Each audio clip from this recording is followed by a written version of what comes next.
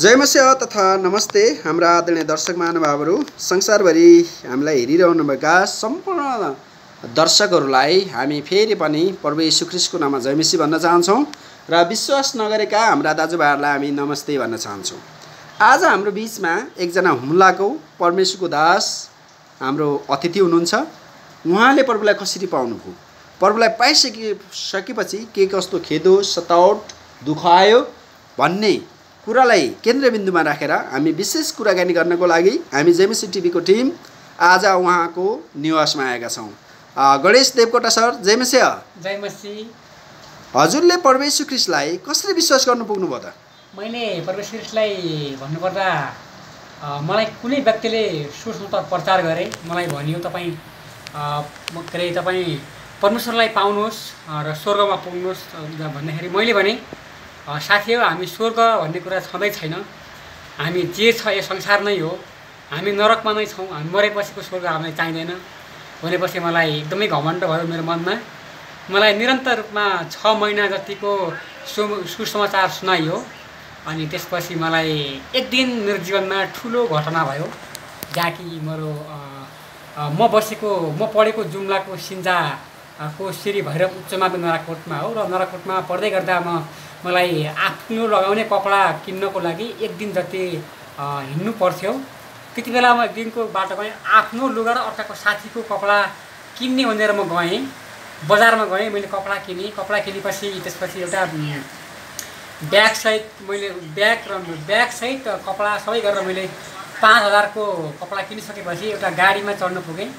एउटा गाडीमा चढिसकेपछि त्यो मलाई गाडीमा बुमिट भयो बेहोस भयो त्यो ब्याग त्यतै हरायो। हराएपछि मैले पुलिस केस गरेँ। पुलिस केस गर्दाखेरि त्यो ब्याग तपाईँको पाउँदैन भनेपछि मलाई पुलिसले भन्यो। अनि मसँगै त्यही सुसमाचार सुनाउने मेरो साथी हुनुहुन्थ्यो। मैले भने साथी यदि तिम्रो परमेश्वर हुनुहुन्छ भने यसको लागि प्रार्थना गर। यो ब्याग भेटिएपछि म पनि मान्छु। ल हुन्छ। म यसको लागि प्रार्थना गर्छु भनेपछि साथीले प्रार्थना गरेँ। र प्रार्थना गरेको दुई दिनपछि त्यो ब्याग भेटियो। त्यसपछि मैले साथीलाई भने तिम्रो मात्रै होइन मेरो पनि परमेश्वर हुनुहुन्छ भनेपछि आजसम्म म सेवारतमै सकिसकेको छु। यसरी तपाईँको हराएको ब्याग प्रार्थना गरेपछि पाएपछि तपाईँलाई विश्वास गर्ने मन लाग्यो? मन लाग्यो है? अनि तपाईँ अब एकजना दृष्टिविहीन पनि हुनुहुन्छ होइन? र अब कतिजना मान्छेले भन्छन् कि प्रार्थना गर्यो भने के अरे आ दृष्टिविहीनले दृष्टि देख्छन् होइन? अनि रोगी बिरामीहरू चङ्गाइ हुन्छन्। समस्या भएमा भएकाहरूले छुटकारा पाउँछन् भनेर भन्छन्। अनि तपाईँले आफ्नो दृष्टि पाउनको लागि प्रार्थना गर्नुभएको छ कि छैन? मैले दृष्टि पाउनको लागि प्रार्थना गरेको छु तर बाइबलले भन्दछ अनि मानिस मानिसको काम यस यसको जीवनबाट मानिस यो यो यो यस हेतुले अन्धो भयो कि मानिसका कामहरू के अरे परमेश्वरका कामहरू यसको जीवनबाट पर्कआउट होस् भनेर नै यस्तो भयो भनेको छ। यहुन्नाको नौ अध्यायमा हामीले हेऱ्यौँ भने यहुन्नाको नौ अध्यायमा जन्मेको अन्धालाई दृष्टिदान अथवा त्यो भन्नु मिल्दैन। जन्मेको दृष्टिविहीनलाई दृष्टिदान भन्ने हामीले अध्यायमा हेऱ्यौँ भने अनि त्यहाँ परमेश्वरले भन्नुभएको छ सजिलो उत्तर दिनुभएको छ मानिस कसले पाप गर्यो? यसले कि यसका आमाबाउले भन्दाखेरि कसले पाप गरेको होइन? मानिस यस कारणले यस्तो भयो कि परमेश्वरको काम यसको जीवनबाट पर्कआउट होस् भनेर पनि यस्तो भएको भनेर। त्यो आँखामा मैले एउटा शर्तको लागि गरेको होइन। मैले आँखा मेरो आँखा देखियोस् म देख्ने हो भनेर प्रार्थना गरेको होइन। मतलब मैले विश्वास गरेँ कि मेरो सांसारिक आँखा नभए तापनि मलाई आत्मिक आँखा देखियोस् र खुलोस् भनेर प्रार्थना मैले विश्वास गरेँ र त्यसको फलस्वरूप मैले आज आत्माको आँखा देखिरहेको छु। मैले पनि प्रार्थना गरेँ मैले आँखा दिनुहोस् भनेर मैले प्रार्थना गरेँ परमेश्वरलाई गन्त तर होला परमेश्वरको योजना परमेश्वरको विश्वास मानिसको भन्दा फरक हुन हुन्छ मानिसले गरेको मानिसले सोचेको भन्दा एकदम भिन्न हुन्छ। त्यो कुनै बेला होला त्यो नहुने पनि के अरे परमेश्वरमा असम्भव भन्ने छैन होला त्यसमा पनि म आशारत नै छु तैपनि नभए तापनि यति के छु भन्दा अनि म के अरे यहुन्नाको एघार अध्यायमा हामीले हेऱ्यौँ भने अनि म के अरे लाजरासको मृत्युमा हामीले मरियमले अनि भन्नुभएको थियो परमेश्वरले मरियमलाई मरियमलाई तिम्रो लाजरस निको हुनेछ। भन्दाखेरि होइन प्रभु लाजरस जीवित नभए तापनि आशा गर्छौँ हामी त आशा गर्छौँ हामी तपाईँको दिनमा लाजरस पुनरुत्थान हुनेछ म पनि त्यस्तै आशा गर्छु। मैले बाहिरी आँखा नपाए तापनि म आगामी दिनमा के अरे आगामी संसारमा अथवा आत्मिक संसारमा मैले परमेश्वरले मलाई आँखा दिनुहुन्छ भन्नेमा म पूर्ण विश्वास छु भनेपछि शारीरिक आँखा नखोले पनि परमेश्वरले तपाईँको आत्मिक आँखा खोलिदिनु भएको होस् भन्ने तपाईँको प्रार्थना छ। प्रार्थना छ र खोलिदिनु भएको पनि छ। परमेश्वरले है? अब गणेश देवकोटा सर तपाईँ एउटा दुर्गम जिल्ला हुम्लाको मानिस होइन? तपाईँ अब एकदमै प्रभुलाई पाउनु पनि भयो। अहिले काठमाडौँमा बसिराख्नु भएको छ। हजुर। तपाईँको पढाइ कहाँ पुग्यो त? मेरो पढाइ अहिले मास्टर फोर्थ सेमिस्टरमा छ र अन्तिम सेमिस्टर हो। मैले सुख दुःख सङ्घर्ष गरी पढिरहेको छु। आर्थिक अवस्थाको विपन्न नै छ। आर्थिक अवस्था पनि यति बेला छैन। मैले अब परमेश्वरलाई प्रार्थना गर्दैछु। आगामी दिनहरूमा केही होस् भनेर अहिलेसम्म मलाई त्यो पनि छ। अनि त्यस्तै छ सुख दुःख अनि मैले सङ्घर्ष गरेर मैले पढिरहेको छु। विकट ठाउँबाट आएँ मेरो हुम्लामा पढ्ने क्याम्पस छैन। पढ्ने क्याम्पस भए तापनि मलाई तिन दिन जति यात्रा गर्नुपर्छ। त्यसमा मलाई डुरा लगिदिने मान्छे कोही पनि हुँदैन। त्यस पनि बिएडभन्दा माथि क्याम्पस नै छैन। मैले काठमाडौँमा सुख दुःख गरेर मैले अहिले पढिरहेको छु। दुःख छ हुन त दुःख नगरी सुख हुँदैन। अनि भनिन्छ अनि बाइबलको बाइबलको वचनले भनिएको छ जसले रुँदै कटनी रुँदै बिउ छर्नेले हाँस्दै कटनी गर्नेछ भनेर मलाई आशा छ भोलि म हाँस्दै कटनी गर्नेछु भनेर। अनि तपाईँ अब दृष्टिविहीन भएर पनि एमए सेकेन्ड इयर भनौँ न फाइनलमा हुनुहुन्छ अहिले। तर। यहाँ कतिजना मान्छे दृष्टि छ होइन? र पनि उनीहरू पढ्न सक्दैनन्। हजुर। ती मान्छेलाई तपाईँ के भन्न चाहनुहुन्छ? ती मान्छेहरूलाई म भन्न चाहन्छु कि जसले पढ्न भर्खर तपाईँ भर्खर उमेरको हुनुहुन्छ त्यो व्यक्तिले पढाइको लागि ठाउँ खोज्नुहोस्। धेरै ठाउँमा पढाइ स्कुलहरू खोलिएका छन्। अनि जसको उमेर पुगिसक्यो जसको उमेर छैन पढाइमा चुकिसक्नुभयो अनि त्यस्तै व्यक्तिले तपाईँ हरेस नखानुहोस्। अब विभिन्न तपाईँका ट्रेडिङ सिपमूलक अ, ट्रेडिङहरू भइरहेका छन्। तपाईँ विभिन्न आफ्नो बाटो रोज्न सक्नुहुन्छ। यति बेला आम बाउको घर परिवारको जिम्मा भरमा पर्नुभन्दा पनि अनि नगुम्सिएर अनि तपाईँले एउटा आत्मिक ईश्वरलाई खोज्नुहोस् र तपाईँको आत्मिकको आत्माको परमेश्वरलाई खोज्नुहोस् तपाईँलाई परमेश्वरले अवश्य पनि एउटा बाटो दिनुहुन्छ भन्न चाहन्छु। अब हामी अलिकति तपाईँ कुन मण्डली जाने सर? म ज्योति मण्डली। ज्योति मण्डलीको पास्टर हाम्रो सिमन पाण्डे पास्टरबा हुनुहुन्छ होइन त? डक्टर शिवन पाण्डे हुनुहुन्छ। भनेपछि तपाईँले भन्नुभयो कि अब तपाईँको पढाइमा व्यस्त हुनुहुन्छ होइन? आर्थिक अवस्था पनि कमजोर छ। अनि तपाईँको पढाइ गर्दाखेरि कुनै सङ्घ संस्थाले तपाईँलाई स्कलरसिप दियो? सङ्घ संस्थाले अहिले स्कलरसिपको लागि मैले एउटा ब्याचलरमा त मैले एउटा परिलक्षित बन्ने संस्थामा अप्लाई गरेको थिएँ। अब हजुर। चाहिँ तत्कालको लागि रिक्त नै छ भन्नुपर्छ। ए त्यहाँबाट भयो है? हजुर हजुर। भनेपछि अब तपाईँले जब प्रभुलाई पाउनुभयो होइन हजुर हजुर। अब दृष्टिविहीन मान्छेलाई त समाजले त्यत्तिकै विभिन्न किसिमले भनेर हेला होचो हुन्छ नै होइन। प्रभुलाई पाइसकेपछि तपाईँलाई के कस्तो हेला होचो खेदो सतावट निन्दा आयो त फेरि? मलाई वास्तवमा त्यस्तो हेल निन्दा त भएन मलाई तर अब घरबाट बुवा चाहिँ ज्योतिषी हुनुहुन्थ्यो। यहाँको भाषा भन्नुपर्दा पण्डित भन्छ बुवा। बाहुन। अँ बाहुन। पण्डित काम गर्नुहुन्छ म चाहिँ यस्तो। अब धेरै प्रश्नहरू हुन्छ अनि छोरा पण्ड के अरे क्रिस्चियन बुवा पण्डित बाउ पण्डित के हो? अलि मिलेर के भन्नुहुन्छ? भनेर भन्नुहुन्छ बारम्बार। अनि अर्को त अब त्यो पनि हो मैले भन्छु अनि हामीले बाउबाजेकै पछि लागेर हुँदैन। अब दिन भनेको समय भनेको बाउबाजेको होइन हाम्रो हो। हामीले नै यो बाटो अँगाल्नुपर्छ भन्ने र उत्तर दिन्छु। कतिपय ठाउँ मलाई यो अरू मलाई कतैतिर बाधा भएको छैन। मलाई अलिकता यो दसैँको बेला थोरै हल्का हल्का हल्का प्रश्नहरू उड्ने गर्छ अनि बलि चढाइएको मासु किन खानुहुन्न भन्दाखेरि अनि बलि चढाइएको मासु हामी खाँदैनौँ हामी पूजा गर्दैनौँ भनेपछि पूजा किन गर्नुहुन्न? टि टिका तपाईँ किन लगाउनुहुन्न भन्दाखेरि टिका र पूजामा उद्धार र मुक्ति छैन। अनि केवल परमेश्वरसँग उद्धार र मुक्ति छ। अनि परमेश्वरमा विश्वास गर्नुहोस् तपाईँ भन्दाखेरि अनि त्यति बेला म एउटा मौका पनि पाउँछु। खासै मलाई त्यति खेदो त भइरहेको छैन। अब पछिको दिनमा के हुन्छ थाहा छैन। तर खेदो भए तापनि अब हामी एकदमै निडर छु। मैले निश्चय गरेको छु रमाउने यसुमा मैले निश्चय गरेको छु विश्वास गर्न आउनेमा। चाहे दागको बोटमा कुनै फल नफलोस् चाहे मेरो जीवनमा कुनै सुधार नहोस् मैले निश्चय गरेको छु विश्वास गर्न आउनेमा। एकदमै म निडर छु। निश्चित छु एकदमै त्यो कुनै अनि एउटा रोचक प्रसङ्ग के आयो भने तपाईँको बुवा पण्डित हजुर। तपाईँ चाहिँ क्रिस्चियन। हजुर। अनि पण्डित बुवाले तपाईँलाई के भन्नुहुन्न? मलाई भन्नुहुन्छ बुवालाई यस्तो किन गरेको छोरा बाटो कस्तो हो त भन्नुहुन्छ। मैले बाटो एकदमै राम्रो बाटो हो बुवा यो बाटो चाहिँ असल बाटो हो। अनि पण्डित तपाईँले गर्नुभयो ठिकै छ अबको दिनमा फेरि फर्किनुहोस् भनेर मैले बुवालाई भन्छु होइन? छोरा म त अब फर्किदिनँ होला। तर यदि म नफर्के तापनि तर मेरो क्रियाकाज भने तेरै जस्तो हुनुपर्छ। अनि तेरै बाकसमा तेरै जस्तो गरी बाकसमा दशा गर्नुहुन्छ गर्नुपर्छ भाइ। गर्नुपर्छ छोरा भनेर भन्नुहुन्छ। मैले बुवालाई त्यो हुँदैन बुवा। तपाईँ जब परमेश्वरमा तपाईँ परमेश्वरको नागरिक हुनु त हुँदैन। तपाईँको परमेश्वरको सेवा सुविधा पाउनको लागि परमेश्वरको नागरिक नै बन्नुपर्छ भनेर मैले बुवालाई भनेको छु। अनि एउटा मे- त्यस तपाईँले प्रश्न गरिदिएको एउटा मेरो घटना छ त्यसको के घटना भन्दाखेरि अनि हाम्रो घरमा चौरी गाई चौरी गाईहरू पाल्छन् है। चौरी गाई हुम्लातिर? हजुर। चौरी गाई पाल्दाखेरि अनि चौरी ठुलो भिरमा गएछन्।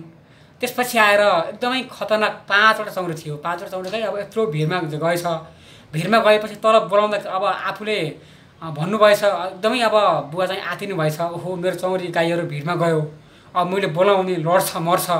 अब यिनीहरूलाई मरेको हेर्नु नपरोस् भनेर मेरो बुवा चाहिँ जङ्गलमा पछि रुनु भएछ किन भन्दाखेरि अब मैले यस्तो गुमाउनु पऱ्यो यदि यो चौरी गाईहरू भिडमा खस्यो लड्यो मऱ्यो भने अब पछि मैले इन्डिया भाग्नु भए गरी बिग्रो छैन। मेरो नै हो मेरो पेसा गरी खाने पेसा नै हो। अब यो मर्नुपर्छ भन्दाखेरि त्यसपछि मेरो बुवाले भन्नुभएछ अनि हो यार एउटा मेरो छोराले परमेश्वरलाई मान्थ्यो। मेरो छोरा परमेश्वरको प्रार्थना गर्दा हुन्छ भन्थ्यो।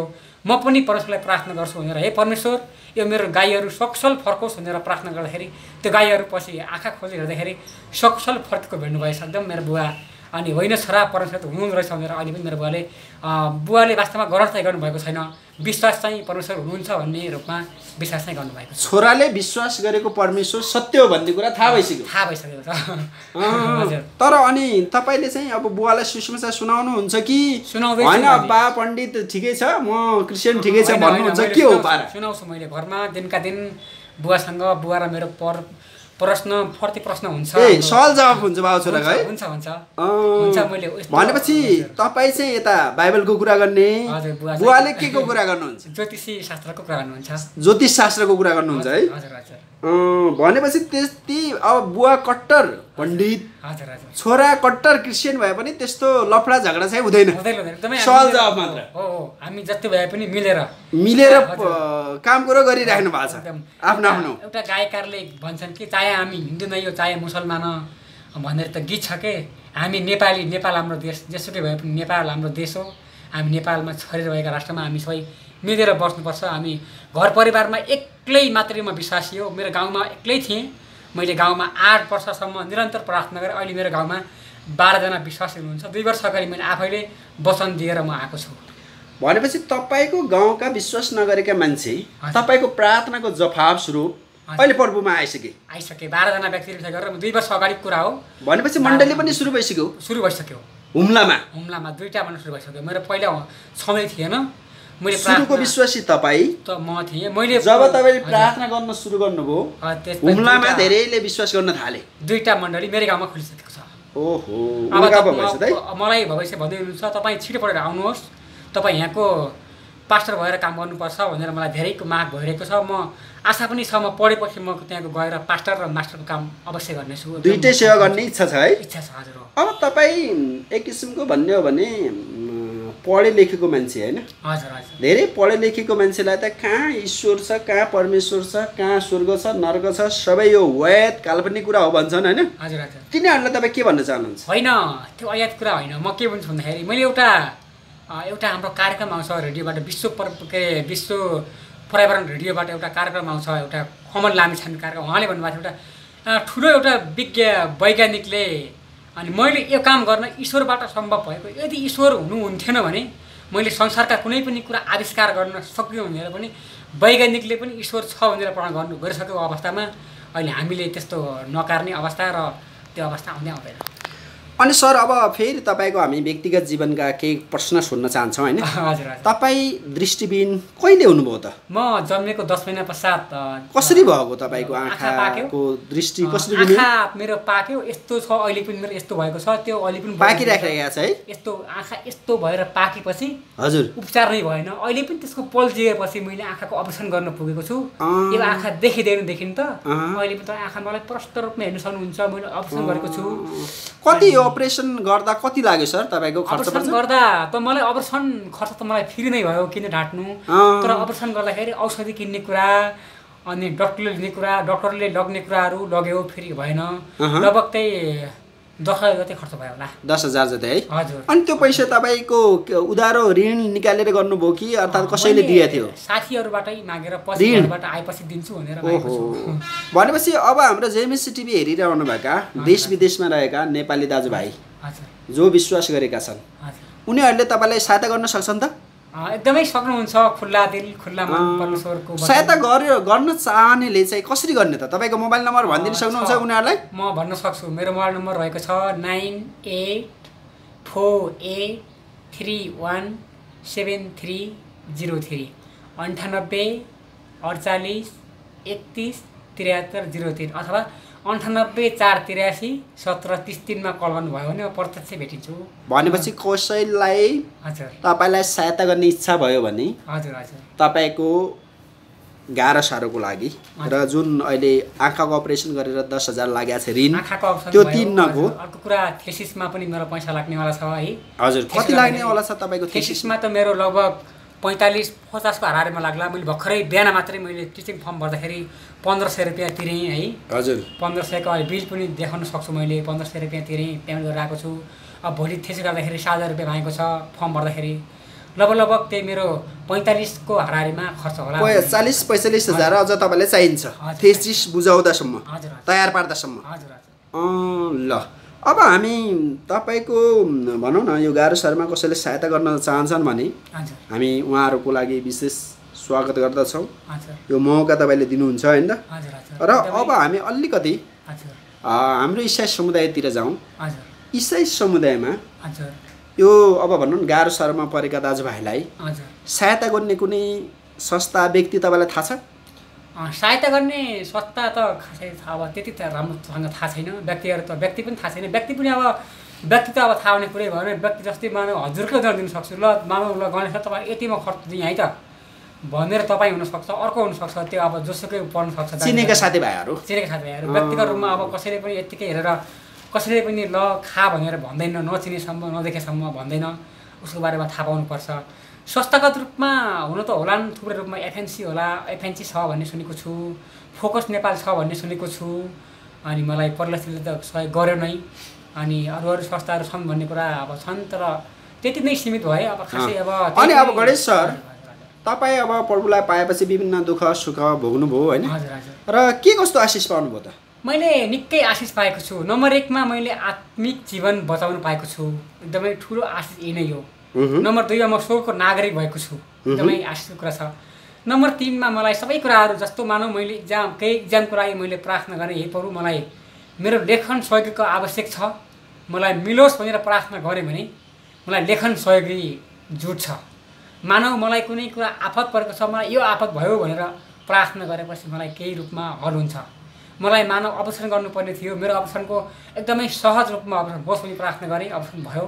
अनि मेरो आँखामा कुनै पनि इन्फेक्सन नहोस् भनेको थियो। त्यो अवसर गर्दाखेरि केही पनि देखाएर तपाईँको आँखा सुकेको मात्र रहेछ वास्तवमा अवसर नगरेको भए हुँदो रहेछ तपाईँ आँखाको सुकेको रह्यो केही पनि छैन भनेर एकदमै देखायो।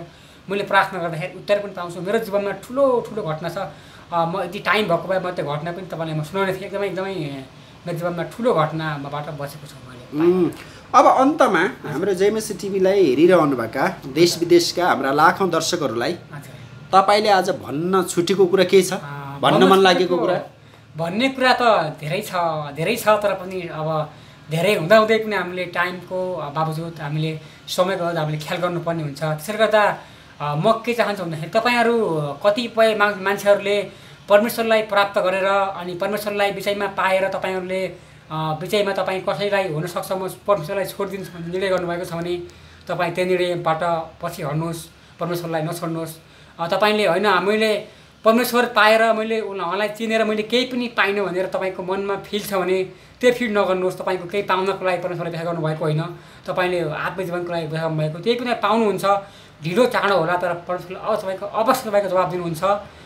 र तपाईँलाई निराशमा हुनुहुन्छ। कोही तपाईँ जाँड रक्सी खाए तपाईँ के अरे परमेश्वरलाई प्राप्त गर्नुभएको छ र पनि तपाईँ जाँड रक्सी अनि तपाईँ सुर्तीतिर धुरोपन मद्यपानको क्लबमा हुनुहुन्छ भने पनि होइन मैले परमेश्वरलाई विश्वास गरेको छु बत्तिसमा दिएको छु मैले अब जाँड रक्सी खाइसकेँ क्लबमा फैसकेँ अब मलाई परमेश्वरलाई मान्दिनँ होला परमेश्वर मलाई क्षमा गर्नुहुन्न होला भन्ने तपाईँ पक्षमा हुनुहुन्छ भने पनि तपाईँ बिस्तारै मेरो पक्षलाई सुधार्नको निम्ति प्रार्थना गर्नु तपाईँको सबै कुराको शुद्ध हुनेछ र निको हुनुहुनेछ भन्ने म तपाईँ अन्त्य समय दिन चाहन्छु। हुन्छ गणेश देवकोटा सर तपाईँको आशिषपूर्ण जीवन गएको लागि हामी तपाईँलाई धेरै धन्यवाद दिन चाहन्छौँ। र परमेश्वरले पनि तपाईँलाई आशिष दिनुभएको होस्। जय मसिंह। जयमेश तपाईँलाई पनि धन्यवाद। जय अँ, जयमेश होस्। तपाईँलाई पनि धन्यवाद छ किन भन्दाखेरि परमेश्वरले पनि तपाईँलाई प्रशस्त मात्रामा आशिष दिनुभएको तपाईँले मलाई अमूल्य समय दिएर तपाईँ मलाई खोज्दै आउनुभएको छ। बाइबलले भन्दछ मैले तिमी तिमीहरूले मलाई खोजेनौ मैले तिमीहरूलाई खोजेँ। तिमीहरूले मलाई बोलाएनौ मैले तिमीलाई बोलाएँ। तपाईँ पनि त्यस्तै व्यक्ति आज बोलाएर तपाईँ म कहाँ खोज्दै आउनुभएको लागि तपाईँलाई धेरै धन्यवाद छ। धन्यवाद जय मसी जय मसी